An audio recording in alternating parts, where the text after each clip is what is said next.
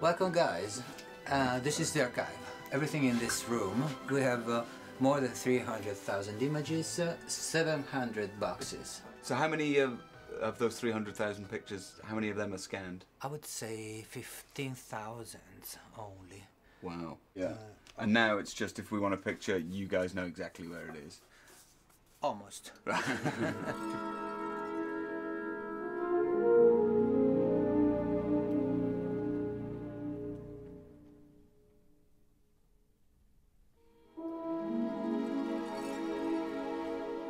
Facing St. Mark's Square in a, in a taxi boat in 1963. He's very tired because he probably was jet lagging.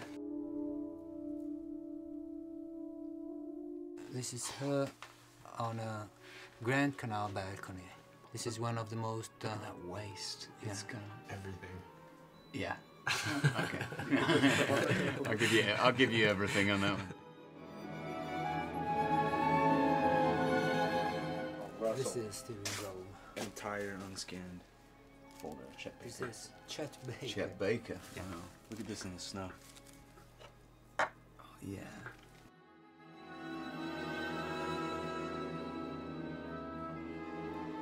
Got Sean Connery arriving at the airport. Taxi boat along Grand Canal, Rialto Bridge in the background. And how cool he is. I know. Yeah, he looks- he looks great there. Hmm.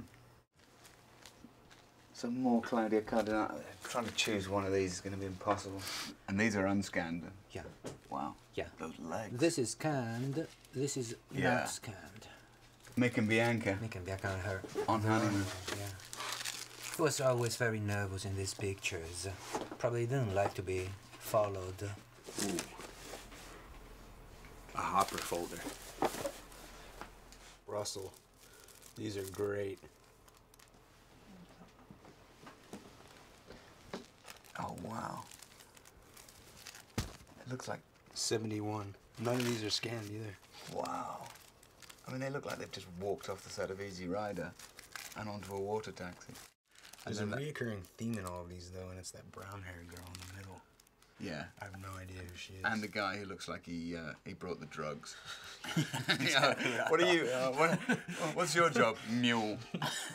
These trips not only are to create a collection, but they're also to kind of showcase where these photos are coming from. If we didn't come to Venice, if we were just trading pictures through email, we wouldn't have found these these Dennis Hopper pictures that no one has seen before. Uh, Carlos said earlier that if there's no little orange dot on them, the world hasn't seen them yet. And these are the these guys are the only ones that have them.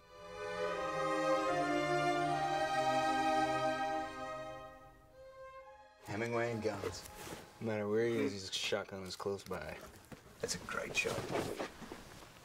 Oh, he's got the lump on his head. This one's fascinating for me because it's an archive from Venice from 1944, 45 through to 1980. You know, it's a very defined time and it's a very defined place, but it's also one of the most beautiful cities in the world at a time when the most famous people in the world were coming through and you know they had terrific access to it. So I'm really excited for what we're going to get in this collection.